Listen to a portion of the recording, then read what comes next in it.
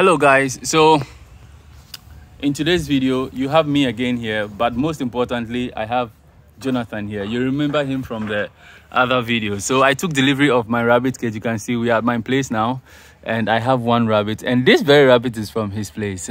So we'll follow the tabs right now. I have some new things i'll be doing but we'll talk about it. So in today's video is a very simple one. It's a sit down one with him. We want to understand a few things. And so the question I want to pose to him is that now a lot of you guys have been watching the videos and you know that um, we've been talking about grass cutter on this channel. We've been talking about rabbits on this channel.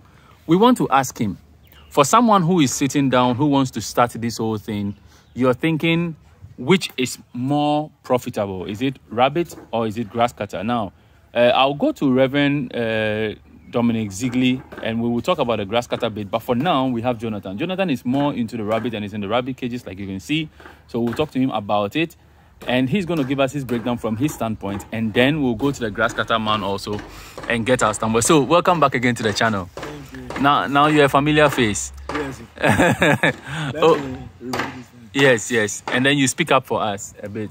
So guys, there's some construction going on there. So that's why the sound is there. So forgive us but for now we'll try to get the sound well. So welcome again to the channel. The other videos were amazing. They loved it. And people loved it. So that's why we are bringing you on again for the third time. Um rabbit versus grass cutter. Have you raised grass cutter before? Yes, I once started with grass cutter. Okay. But over time I stopped. okay. How long did you do it averaged about two years. of of two years and then you stop. then you switch to rabbit Yes. Okay, so now the fact that you have basic understanding to it, you've sold some before at the time. Maybe now you may not know the current market pricing, but let's talk about rabbit farming. Why do you think, to you, rabbit farming is profitable than that of uh, grass cutter? Let's go into the breakdowns. Yeah, with the rabbit farming, actually, it's easy to grow. And then um, when we want to calculate the breeding that they breed per animal, if I compare it with the grass cutter, there's a big gap in it. Okay, For example, um, averagely one rabbit can give birth six times in a year okay, compared to grass cutter that can give birth only two times in a year. mm, If you miss one, that means once in a year. okay, You may also miss some of the rabbits breeding time, so you can maybe hit about five times in a year Okay. or four, depending Okay. on the system you are using. all right, So I can see rabbit can breed more animals than the grass cutter. So I decided to go for the grass uh, rabbit, Rabbit instead of the grass cutter. okay. So now let's look. Uh, since you're talking about the breeding, so rabbit gives on an average how many? If I should go for the six times in a year, Mhm. each rabbit gives an average of five. That's Okay. an average of five. So times the six, that we are talking about 30 animals per rabbit. per rabbit in a year. Okay, so he's having a phone call. You can you can uh, answer it or something. So he's just having a phone call right now. Um, so one rabbit five averagely for the whole year. That's thirty per one. Yes, Okay, and for the grass cutter, it's also averagely how many? five Five, and they litter twice twice, in a whole year. So that is ten, as opposed to one. Okay, so now already in the numbers, rabbit is ahead, but the money currently, uh, I don't really know how much um, uh, grass cutter is sold because the prices always vary. Yes. What the restaurant buys and what you sell to just regular people who are buying. What are the price differences when it comes to how much you would sell to a restaurant or how much a restaurant will sell to end user or someone who has a restaurant and is selling? How, how do the prices match per individual sales and all that stuff? Okay.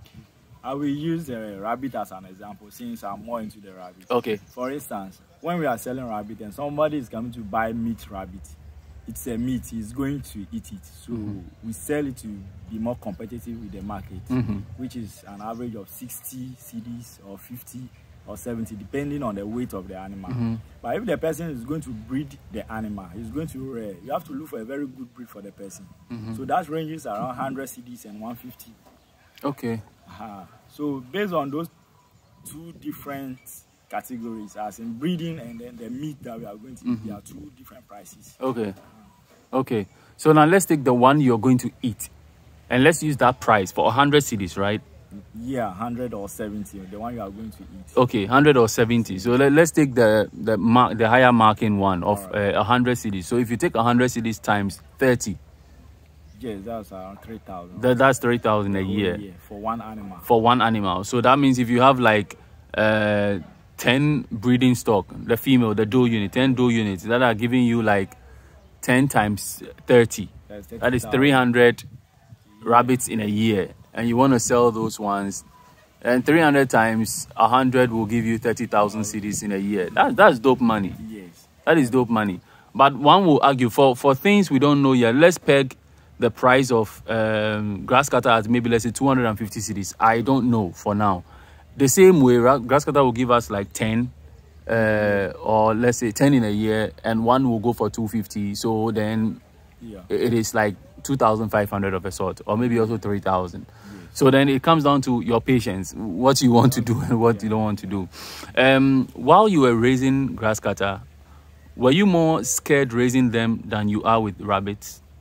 Yes, yes, because there are challenges. Okay. I was in the city. Mm -hmm. Very difficult finding grasses to feed the rabbits, mm -hmm. uh, to feed the grass cutter. So, okay. So during the dry season, we have to go around searching for elephant grass and all that stuff to feed them because they are not good at pellets like how the rabbits are.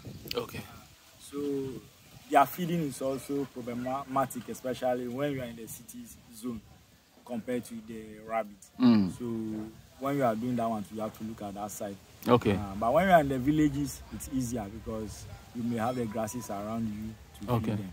Okay. Uh, do you do your own pellet? As in, what are some of the ways you think can maximize profit when doing uh, rabbit farming? What are some of the mechanisms you've placed in? Because it was from you I heard when I came to your shop the other time, your, your farm the other time, you made mention of something I kept in my head. You were like, once you're feeding them, the, is it the feed per ratio or something you mentioned? The, feed conversion ratio. Feed conversion ratio. That it gets to a, a time they're just wasting food and you don't want them to waste food. What are some of the measures you put in place that will make you maximize profit and not put so much money in the rabbit farming? Yes, and example is the pellet that we are doing. Okay. Uh, we with the powdered feed that you give to them, they normally scratch the powder out. Mm. But when it is in a pellet form, they collect it and eat it as it is. Okay. So they split less feed Mm. Therefore, you're also uh, reducing your cost. Okay. Uh -huh. So if you can maybe get a mini pelleting machine or hand one or to try something, it's better than using the powder. But if you don't have the powder too, then you have to make sure your feeding bowl is in a way that will not split the feed. Okay, that it won't be spilled. Okay, so now for no problem. So he's checking his phone right now. Let's let's wait on him. So I don't want to edit any part. I want this to be raw so that you guys can have the raw juice. So um, here is the thing. What are some of the compositions you would say one should put together for good pellets if they want to do it at home? Some of the things you would suggest for your 10 years experience of rabbiting. Yes, yes. Um, what is most important is uh, you need meat, especially when you're doing meat. Uh, animals. Mm-hmm. So you look at your protein content. Okay. In the feed. So you have to make sure your protein content is ranging around 16 or 15 percent. Okay. Uh-huh. Or if less Accra, it should be around 12 percent. Okay. Of the feed, and then make sure you have enough uh, fiber mm-hmm. in the in the feed. Fiber can be in the form of wheat bran or dry grasses, as in hay, mm-hmm. you can see in other videos or other um, feed mm. advices. Uh, okay, so guys, uh, right now uh, in the house, okay, look at something. We are right here. This is one grass the rabbit eats. So you can just take these ones, dry them up, and then you use this one, right? Yes. Okay. You don't necessarily have to dry them on the sun.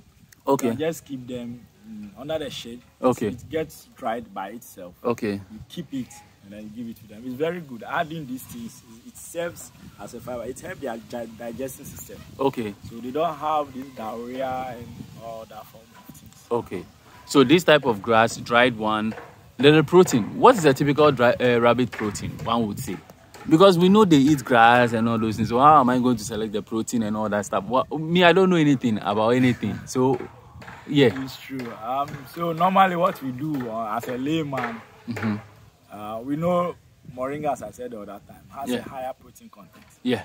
And then we use some of the commercial feed that have been made already. Mm. Not for rabbit, but for uh, The chicken. chicken. Okay. Like the grower mash, like this. The grower mash is ranging around uh, 15% protein. Okay. And then the layer mash is ranging 17% protein. Okay. So you, you don't give it to them like that. We mix it with wheat bran Okay. so that it can increase the fiber content in the feed. Okay. Uh, so when you mix it with the wheat brown, which is uh, when we buy one bag of um, how do you call it, uh, grower mash, Mhm. we mix two bags of um, wheat. Wheat brown. Okay. So two bags of wheat brown to one bag of grower mash. grower mash. Okay. Yeah.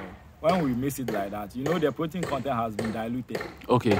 with almost half of the same weight. Yes. So your 17% protein has been cut down into half. Okay. So that's a layman calculation. Okay. You know your 17 have been divided into half. That's you are having about let's say seven percent, seven point five percent Per serving. Yes, Okay. as in you've already missed it. Yeah. Yeah. Uh, there is a little protein in the in the in the in the wheat bran as well, Mm. but that's not much counted. Okay. So when you boost it with the moringa, Mhm. you boost your protein content. Or probably you can also buy some soya meal, soy meal, Okay. and then add, let's say, six kilograms to the total amount of kilograms you get. Mm. You know, I said you are going to use two bags of wheat bran. That's 50 kg. Mm. Then one bag of grama, Mhm. which is 50 kg. So in ratio, is one is one. Okay. Uh, so adding uh, about that's a 100 kg. So adding about six kg of uh, protein, which is soya milk, will boost your protein content, and you are good to go. Okay, okay, that's good. So, guys, this is some wonderful insight he's giving us uh, as to how rabbit is. So, quickly, in Ghana currently, where should one sell their their their stuff? Well, you would suggest, okay, I have rabbits right now. I can sell like ten every week. I don't have anybody to sell. Where would you advise they sell it as a Yeah. Kickstarter? When we are starting, first try. I always say try people around you. Mhm. Let them know what you are doing. Mm-hmm. Let them know the value of the meat. Mm. because the meat is even valuable than the grass cutter you are talking about. Mm. You can make research and see the advantage of the meat.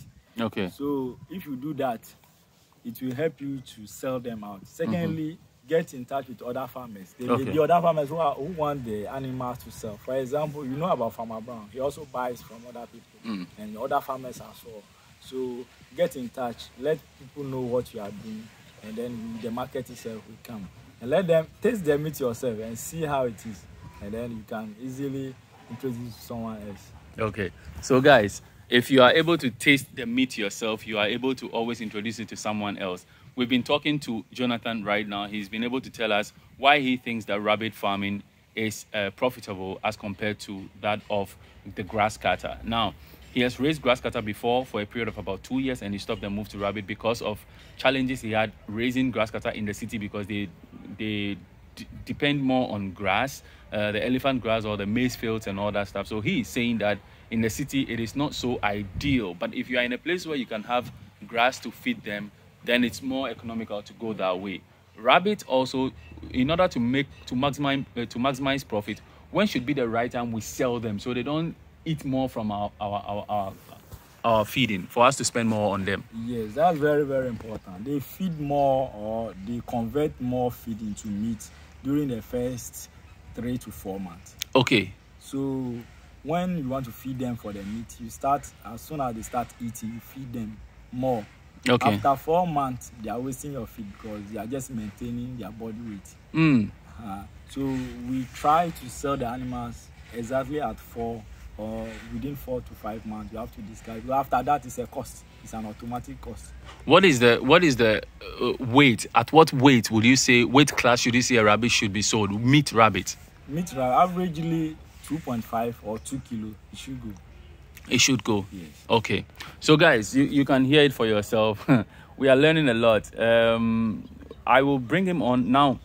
When it comes to feeding the rabbits, there is some say you don't have to feed the rabbits too much for them to be fatty, or else they won't be able to breed well. So when it comes to the the breeders versus the meat, uh, what would you suggest be the feeding composition for them? Which is like for someone who is lame, he just knows I have to give them wheat, wheat, wheat, wheat, but I want to produce. How do I produce more? because it's all part of the profit thing. I hope you get my question. Yes. So um, it's true when you overfeed the rabbits and they get obese, Mm-hmm. they will not give birth. Mm-hmm. Uh, so when you are doing breeding stock or you want breeds from your animal, the ones they've already given birth to, Mm-hmm. you have to make sure you don't have too much maize and then the carbohydrate stuff in the feed Okay. because when they eat the protein, it turns into meat and Mm. that's not fat, that is meat. Mm. But when you give them too much of the concentrated feed, they got fatty. So Okay. even when you kill them, you see a lot of fat in, In their them. bodies. Mm. Ah, Mm. So that's the, the, the difference. Okay. Eh, so when you are feeding them, just make sure that you have your more fiber Mhm. so that it can digest most of the feed that is in their body. Okay. And then you have your protein content in a good level. And then while you give them the grasses, they get their vitamins from the grasses and all that. Okay, so the last question I will put also, I think it has something to do with the growth rate. Water. Is water Yes, important? Very, very, very important. They have to have water all the time. So Mm. that because it helps them to digest all the food very well. Okay, And if they don't have water, they don't eat. That's Okay. how they are. okay. If they don't have, if they don't have water, they don't eat. So, guys, uh, this is where we are going to end the video. If you have questions, specific questions, kindly put them in the comment section below. We have him always. We can call him. We can go to his farm and we'll ask him more questions. I will do that for you. Um, I will go to Reverend Zigley and then we'll do this other part of the of the video so you guys can have like a good overview of this whole thing right here. Uh, so, on behalf of you guys and myself, we'll say thank you to. Uh, now I'll call him Reverend Jonathan. so of Agrotech. The last time in the other video I said Agrotech. I was just watching it backward and I saw I said Agrotech. It's Agrotech, Organic Grow Technologies, right? Yes. Okay, so uh, the reason why it's orga- uh, Organic Grow Technologies is that he doesn't do only this. He builds um, greenhouse systems also, and um, he's been trying some soil technologies to grow crops based on the urine of the rabbits, based on the um, the feces, right? And that is one thing that has got to do with the profit margins of rabbits. If you there are a lot of things to harvest from rabbits that can give you more money. So, for example, if a rabbit costs 100 cedis and you are able to harvest their urine, their feces, and everything in attachment to sell for uh, how do you call it as as manure, fresh manure to grow your own crops and all that stuff, it will boost your profit margins at a very higher level. I don't know um, comparatively uh, the feces and that of the urine of the grass cutter. I don't know, so I can't say much about it. But I know for sure the rabbit you can sell its fur, the leather. It's also used for garments and bags and all those kind of stuff. So when it comes to profit, this is what we are talking about. We'll do a separate video where we talk about profit maximizations in rabbit farming and then we go deep into those type of things. But for today, rabbit versus uh, grass cutter video one we'll see how it goes for you guys. So if you're interested in starting a rabbit farm this is what you should know. If you're also looking at starting um, a grass cutter farm then you start doing com- the comparison. I'll bring you the other video as well so that you guys can know. So thank you very much for watching. Thank you very much. One more point. He says he wants to add one more point. Yes. When you are doing rabbits, you feed more people. Put that in your mind. Not only about the money. You mm. produce more animals, so more people eat and are cheaper. You know, Africa, we need to eat. Oh, nice one, nice one, nice one. So when you when you grow more rabbit, you feed more people. On that note, we are going to end it right here. The channel is Rabbit and More. Do subscribe to the channel. We are growing this family. Let's keep our comments coming. I'll go to other farms to bring you other videos. So anything you're interested in, whether poultry, um, uh, tilapia farming, whatever it is that is your interest, so long as it has to do with agriculture and livestock, let me know. I'll go there and cover it so we can all learn and boost our farming. I'm an aspiring farmer, like I said, I'm starting gradually. I started with a small cage with three rabbits, and this is the next level I'm moving to. right now, this is a 12 unit one. How many can this one contain? Yeah, the models, it takes 12. Okay. Uh, with the weaners, Uh-huh. each one takes three. So Three. you can do the calculation. Yes. So three, three, three times 12. You get it? If you don't get it, forget about it. so, guys, thank you very much. It's been a good one. Subscribe to the channel. Share the video with someone if you find the information.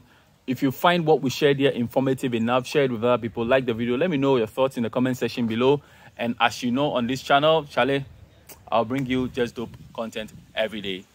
Peace out. And we say thank you to the man, Jonathan. Okay.